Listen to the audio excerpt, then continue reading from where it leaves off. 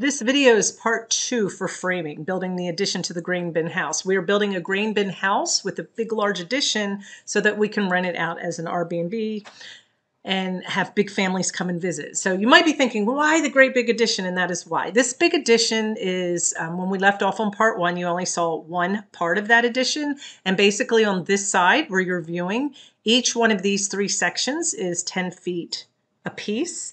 And then when you go on to the front of that, the longer end, um, then they are 12 feet. So you've got a 30 by 24 foot addition. This is basically where the eating area will be, big long table to be able to seat a good 12 people and a great big kitchen. Over here to the right of that is where a porch will go. It'll have concrete and that will be 30 feet long, 12 feet out. So that's the plan.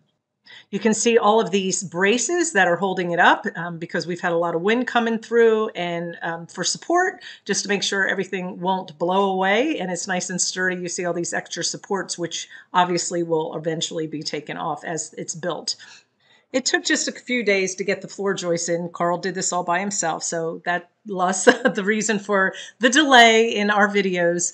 But I just wanted to point out that you can see a piece of metal down here. He did use metal bracing underneath, and that would give it extra support um, for the floor because it is a big room.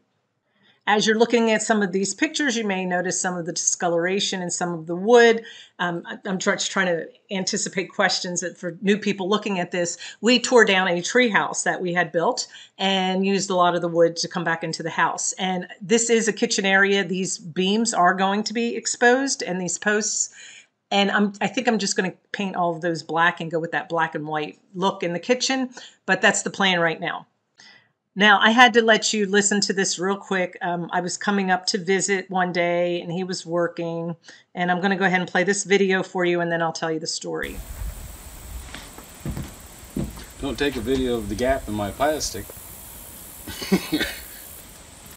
I came up, he had all of this pretty much done on the floor and there was just a couple places he said be careful when you're walking. And you know how you just start dreaming and walking around and imagining things and that's kind of what i was doing.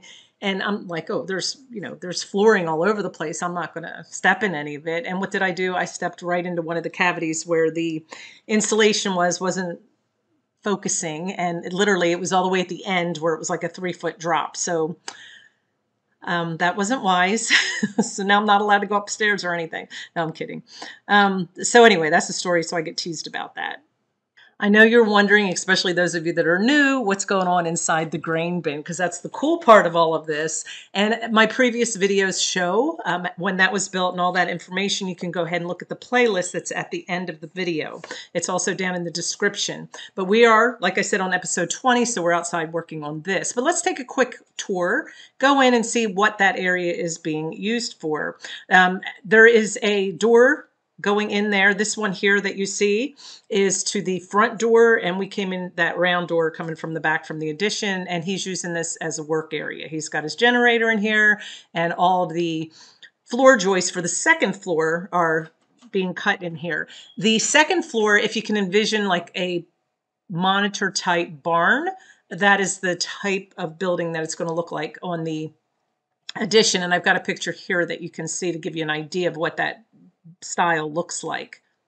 Back outside you can see the foundation boards have been attached. You can use insulation panels, foundation insulation panels to do this. They're insulated or you can use concrete board. He uses concrete board. It can touch the earth. It can be put it inside the dirt and it, they will not mildew. So that's what you want to make sure you have something that's approved for being on the foundation and you can do it either way getting ready to put the floor joists into the second floor. You can see this right over the heading of the door that goes in there.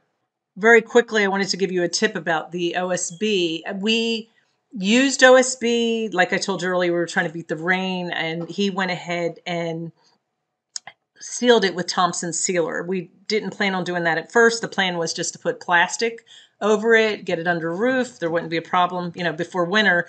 But there was a ton load of rain. I think it was during that hurricane uh, Helena that when she came in, um, there was just a lot, and a couple boards had to be replaced. So he decided to go ahead and coat seal everything with that Thompson sealer, and that has helped a lot um, since then. Everything just kind of beads up now, so that stuff works really well.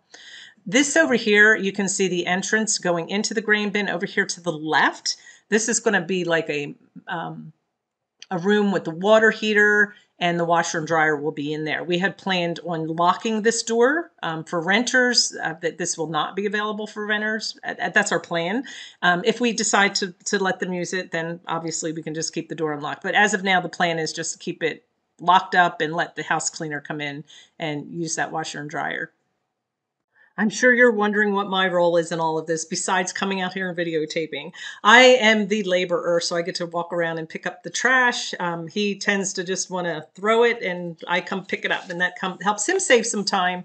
And then I can come out and just kind of get an idea of what's going on. So that's my job, and uh, I love it. This is going well. We're really enjoying it. Um, there is going to be um, part three and uh, the next little bit, I'll talk to you about where we've left off and what you can expect to see in the next video.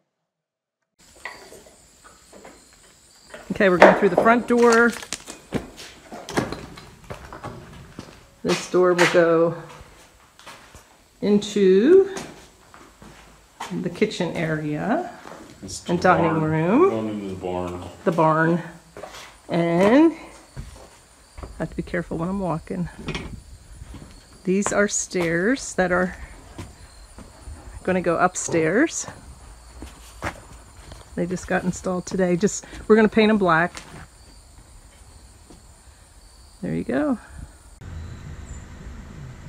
So to end our video, part two, there's the door to the front, um, ready for the front porch to be poured here.